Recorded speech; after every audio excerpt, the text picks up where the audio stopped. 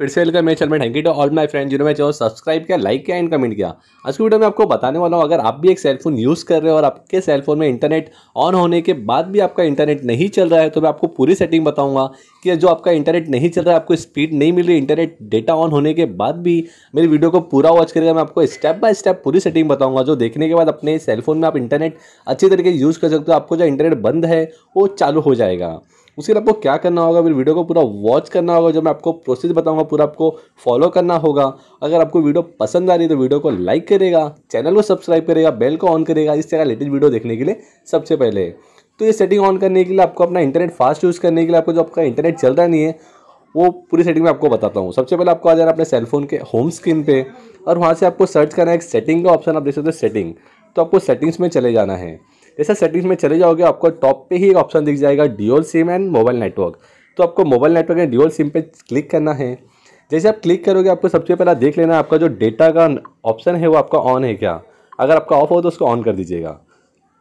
उसके बाद आपको नीचे एक सेटिंग दिखेगा डेटा ओके डिफ़ॉल्ट सिम तो आपको यहाँ दिखा जाएगा कि आपका इंटरनेट है, कौन सी सिम कार्ड चल रहा है वन से या टू से?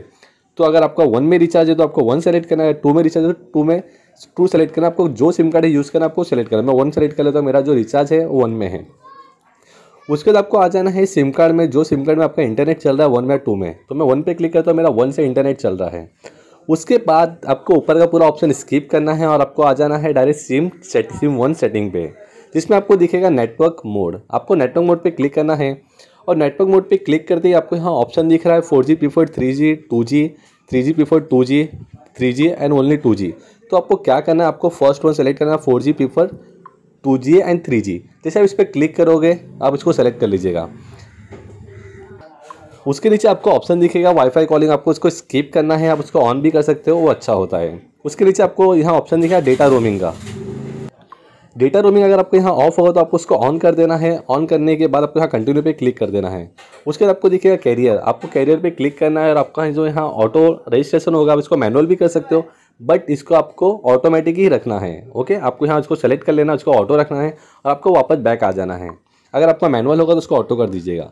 उसके आपको लास्ट ऑप्शन में एक ऑप्शन दिखेगा एपीएन का, जिसको बोलते हैं एस पॉइंट नेम आपको इस पर क्लिक करना है और क्लिक करने के बाद आपके सेलफोन में जो सिम कार्ड रहेगा, उसके नाम से यहाँ एपीएन सेट हो गया रहेगा। तो अब यहाँ न्यू एपीएन भी सेट कर सकते हो बट आपको न्यू एपीएन सेलेक्ट नहीं करना है।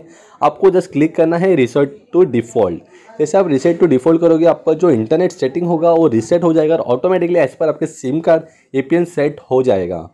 ये सब होने के बाद जब पूरा सेटिंग कर लोगे, उसके आपको आ जाना है बैक होम स्क्रीन पे और अपने सेलफोन को एक बार रीस्टार्ट करना है। जैसे अपने सेलफोन को रीस्टार्ट करके आप री ऑन करोगे, मैं आपको डेफिनेट बता रहा हूँ, उसके बाद अपना इंटरनेट यूज़ करेगा, आपको एकदम बढ़िया स्पीड मिलेगी और आपका इंटरनेट चलना शुरू हो जाएगा। अगर आपको वीडियो पसंद आया, वीडियो को लाइक करेगा चैनल सब्सक्राइब करेगा इस तरह लेटेस्ट वीडियो देखने के लिए सबसे पहले थैंक यू